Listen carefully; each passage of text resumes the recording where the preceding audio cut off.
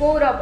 ଓଡ଼ିଶା ସରକାରଙ୍କ ସୂଚନା ଓ ଲୋକ ସମ୍ପର୍କ ବିଭାଗ ପକ୍ଷରୁ ସାମ୍ବାଦିକମାନଙ୍କୁ ଯୋଗାଇ ଦିଆଯାଇଥିବା ମାଗଣା ସ୍ୱାସ୍ଥ୍ୟ କାର୍ଡ ବେଶ୍ ଉପଯୋଗୀ ପ୍ରମାଣିତ ହୋଇଛି। କେନ୍ଦ୍ରାପଡ଼ା ଜିଲ୍ଲା ଗରଦପୁର ଅଞ୍ଚଳର ଜଣେ କାର୍ଯ୍ୟରତ ସାମ୍ବାଦିକଙ୍କ କ୍ଷେତ୍ରରେ ଗରଦପୁର ସାମ୍ବାଦିକ ଶ୍ରୀ ରଞ୍ଜନ ସ୍ୱାଇଁଙ୍କ ସହଧର୍ମିଣୀ ପୀଡ଼ିତ ଥିଲେ ଏକ ଜଟିଳ ରୋଗରେ। ଡାକ୍ତରଙ୍କ ପରାମର୍ଶ ଥିଲା ଅପରେସନ କରିବାକୁ ମାତ୍ର ଅର୍ଥ ସାଜିଲା ବାଧକ। ସରକାରଙ୍କ ଦ୍ୱାରା ପ୍ରଦତ୍ତ ସ୍ୱାସ୍ଥ୍ୟ କାର୍ଡ କେତେ ଦୂର କାର୍ଯ୍ୟକ୍ରମ ଏନେଇ ଆଶା ଆଶଙ୍କାରେ ଥାଇ ରଜନ ତାଙ୍କ ସହଧର୍ମିଣୀଙ୍କୁ କଟକ ସ୍ଥିତ ଏକ ଘରୋଇ ହସ୍ପିଟାଲରେ ଭର୍ତ୍ତି କରିଥିଲେ ଓ ଶେଷରେ ଅପରେସନ ହୋଇ ସୁସ୍ଥ ଅବସ୍ଥାରେ ଫେରିଛନ୍ତି ତାଙ୍କ ଘରକୁ। ତାଙ୍କ ପ୍ରତିକ୍ରିୟାରେ ସେ ଓଡ଼ିଶା ମୁଖ୍ୟମନ୍ତ୍ରୀଙ୍କୁ ଓ କେନ୍ଦ୍ରାପଡ଼ା ଜିଲ୍ଲାପାଳଙ୍କୁ ଧନ୍ୟବାଦ ଜଣାଇଛନ୍ତି।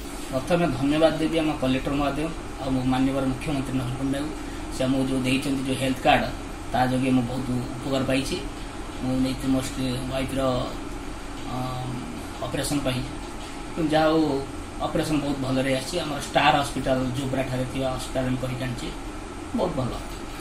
ନିଶ୍ଚିତ ଫରକ ଅଛି।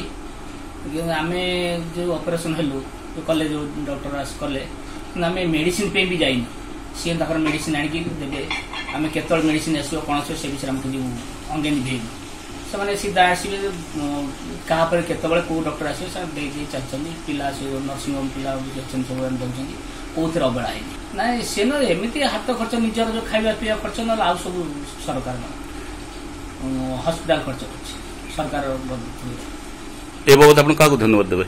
ମାନ୍ୟବର ଆମର ମୁଖ୍ୟମନ୍ତ୍ରୀ ନବୀନ ପଟ୍ଟନାୟକ ତାଙ୍କ ସହିତ ଆମର ଜିଲ୍ଲାପାଳ କେନ୍ଦ୍ରାପଡ଼ା ହଉଛି ଅସୀମା ସ୍ୱାଇଁ ଗ୍ରାମ ମଦାନା କେନ୍ଦ୍ରାପଡ଼ା ଜିଲ୍ଲା ଗର୍ଦ୍ଧପୁର ବ୍ଲକ।